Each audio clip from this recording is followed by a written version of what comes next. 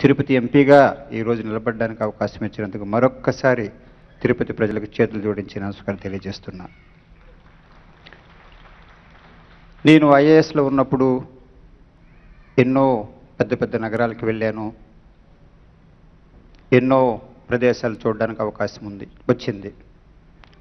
కానీ తిరుపతి లాంటి జీవనం ఉన్న ఒక నగరాన్ని మాత్రం నేను ఎక్కడ చూడలేదు. గత మూడు సంవత్సరాలుగా అంతకు ముందు కూడా దాదాపు ఎనిమిది సంవత్సరాలు నేను ఇక్కడ తిరుపతిలో ఉన్నాను. ప్రజలతో మాట్లాడడం కానీ వాళ్ళ ఆలోచన విధానం కానీ అవి ఎంతో నాకు నచ్చుతాయి. ఇక్కడ ఇలాంటి నాటకాలు సాంఘిక నాటకాలు చూస్తుంటే ఎంతో సంతోషం అనిపిస్తుంది. ఇంతకుముందు చాలాసార్లు నేను ఇక్కడికి వచ్చాను.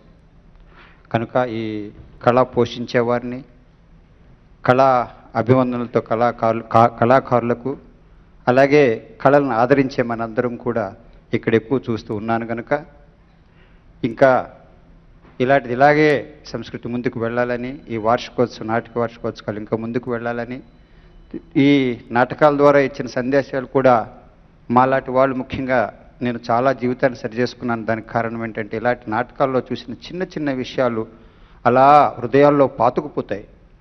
ఈరోజు కూడా చాలా ఈ రోజుల్లో ఏ విధంగా అయితే తల్లిదండ్రులు జరుగుతుందో ఆ సాంఘిక నాటకం ద్వారా ఒక మంచి సందేశం తెలియజేశారు కనుక ఈ విధంగా ఈ నాటకాలను ఎవరైతే పోషిస్తున్నారో ఆ కళాకారులు పోషకులు మనలాంటి అభినందించే వాళ్ళందరూ కూడా ముందుకు ఉండాలని చెప్పి తెలియజేస్తూ మరొక్కసారి ప్రజలకు వందనా తెలియజేస్తూ సెలవు తీసుకుంటాం